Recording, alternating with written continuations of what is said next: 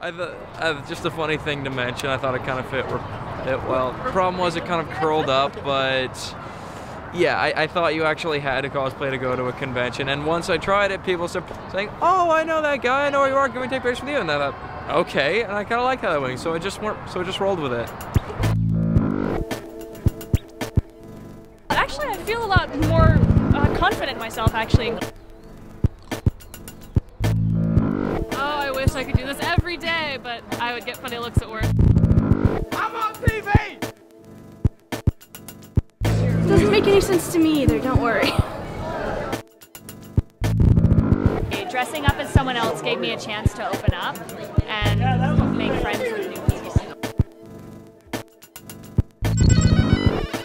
I've been working like basically a full-time job on it for the past two months.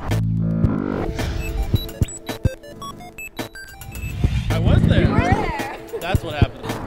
Mwah.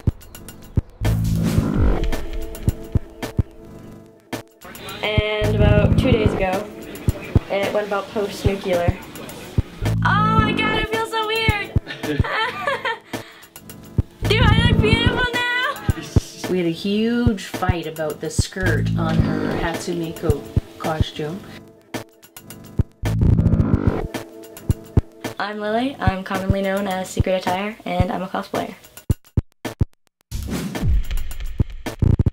That is something I haven't thought about, having to like put on a bra and then stuff it in order to cosplay a female character. Sort of reversing what I've surgically done. Physically you might have changed, but um, you know, it hasn't really changed how I feel. My name is Lucas, also known as Twin Fools, and I am a cosplayer. Sorry, I saw like a really weird bug and totally distracted me. This is my favorite convention. it's BroCon. I'm not really sure why. I'm just like, don't want to be here. my name's Danae.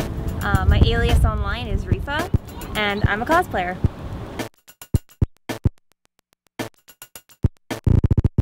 This big, like, religious experience.